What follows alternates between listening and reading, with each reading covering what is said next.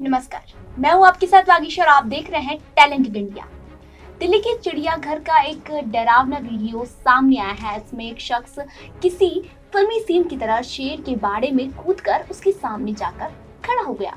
गुरुवार को एक युवक शेर के बाड़े में कूद गया, जिससे वहाँ हड़कम मच गया।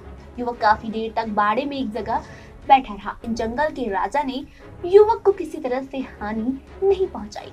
बाद में चिड़ियाघर के कर्मचारियों ने काफ़ी जद्दोजहद के बाद युवक को सुरक्षित बाड़े से निकाल लिया।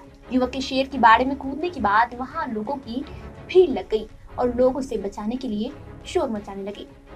युवक को शेर के बाड़े से बाहर निकालने के लिए चिड़ियाघर के दस कर्मचारियों को कड़ी मशक्कत करनी पड़ी।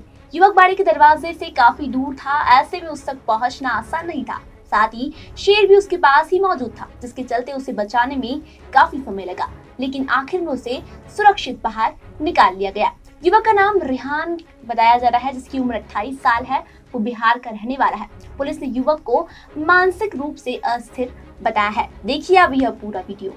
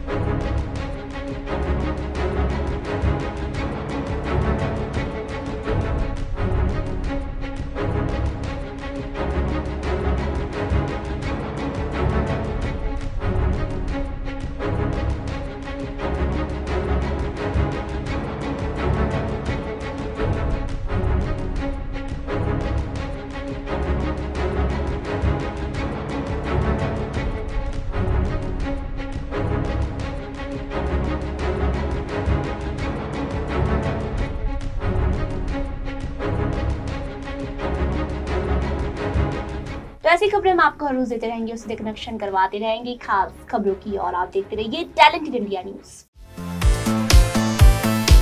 अगर आपको हमारे वीडियोस पसंद आए तो प्लीज़ लाइक करें, सब्सक्राइब करें और शेयर करें।